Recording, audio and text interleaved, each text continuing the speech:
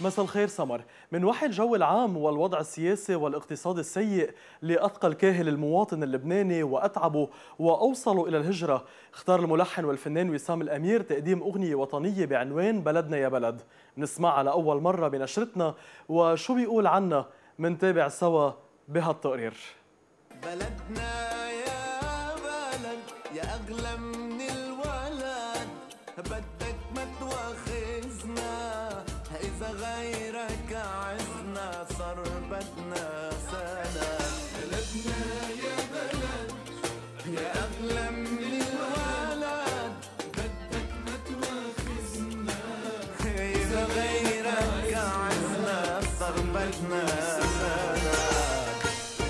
هيدي الأغنية شوي مختلفة عن الأغاني الوطنية لأن فيها المفردات ال- إذا بدك ال- العنترية والمواقف ال- البطولية وهيك. لا هيدي حقيقة صارت للأسف كل الناس عايشة بضيقة وعم تمرق بضيقة وبدها حج خلاص وبدها تخلص من هال من هاللي نحن فيه. بتشوف بعيون الناس بكل بعيون كل الناس آه، في ملل في قرف. وللحقيقة إذا بدك مش باقي إلا اللي مش قادر يروح. الحقيقة ما فينا نخبيها. الوضع السياسي المأزوم والوضع ال- ال- الاقتصادي المأزوم والوضع الأمني اللي هيك بدك تحس حالك على طول مشدود بتحس حالك منك بأمان. خليني أعمل هيدي الغنية. أه، حبيت أحكي حالي عايشينها. يعني هيدا الواقع. نحن يمكن أه، بالعمق جوا هيدا بالآخر بلدنا وهيدا وطننا وحابين نضل. بس حتى نضل كمان في على القليلة أدنى مقومات إنه يقدر الإنسان يعيش فيها ويقدر يستمر فيها بهذا المجتمع. قبلت السفير من مدة يومين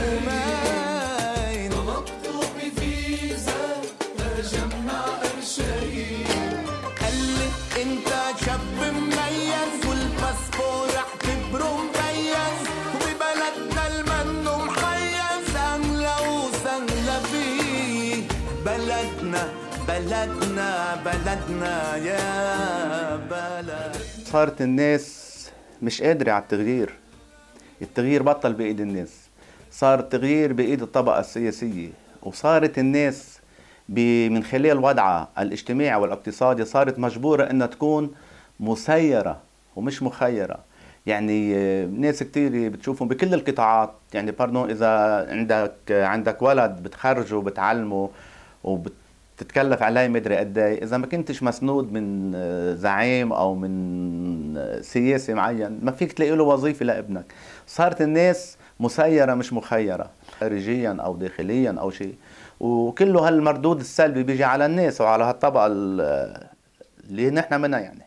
صار لازم بقى إنه هالطبقة السياسية تفكر بالمواطن تفكر بقيمة هالوطن اللي نحن بنشوفها كتير كبيرة وبنعتبر إنه هيدا لبنان يا قطعة سما مزبوط. بس بالآخر آه، سما ما فيها ملاكي وما فيها إلا عفاريت وما فيها إلا جان. بتكفر وبتهرب منها لو كانت قطعة سما. يعني حتى لو اجى رئيس جمهورية آه، اسم معين يعني إذا بدك. ما بعتقد أنا عنده الصلاحية والطليق اليد إنه يقدر يغير ويقدر يعمل. بلاقي أنا إنه الأسماء اللي بتخلق آه، يمكن شوية ثقة وشويه أمان عند الناس. بشوف أنا ميشيل عون رئيس جمهورية وسعد الحريري رئيس حكومة. ومصيبة إذا فلينا ومصيبة إذا ضلينا. حرقنا كل شي بإيدينا وخسرنا البلد.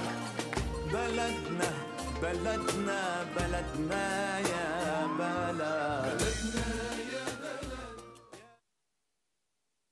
منتابع نشرتنا مع البانوراما الفنية وفيها الحرب اشتعلت من جديد بين أصالة وهيفا وهبة.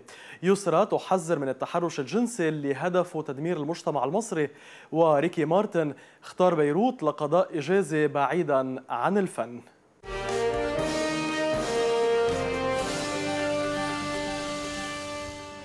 يا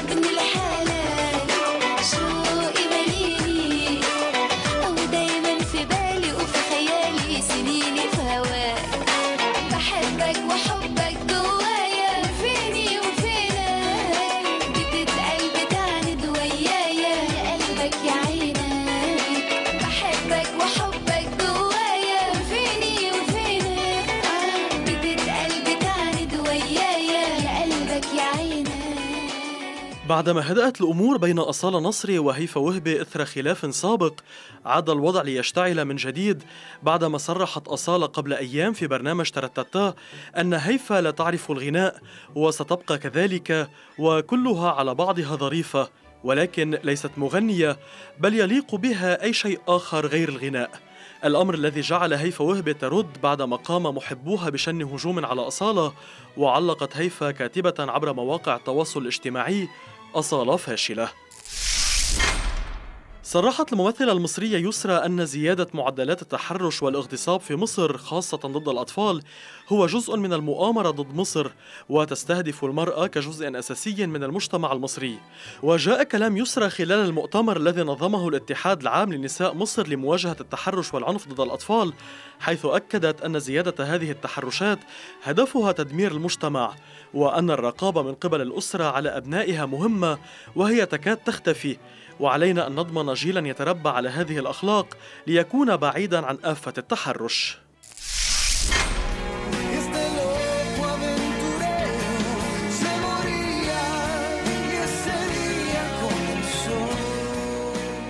اختار النجم العالمي ريكي مارتن أن يقضي إجازة قصيرة في لبنان الأمر الذي فاجأ البعض. ومن المتوقع أن يصل المغني العالمي إلى بيروت في الأيام القليلة المقبلة لتمضية عطلة استجمام بعيدا عن عدسات المصورين. فهذه الزيارة ستكون من دون تغطية إعلامية ومحاطة بالسرية لأنها لا تتضمن أي عمل فني لريكي مارتن بل هي زيارة شخصية. ومن المتوقع أن ينزل ريكي مارتن في فندق فينيسيا وتعكف بعض الأجهزة الأمنية على اتخاذ الإجراءات اللازمة لضمان راحته وسلامته. هيدي كانت مواضيعنا وأخبارنا بنشرتنا لليلة. تصبحوا على خير.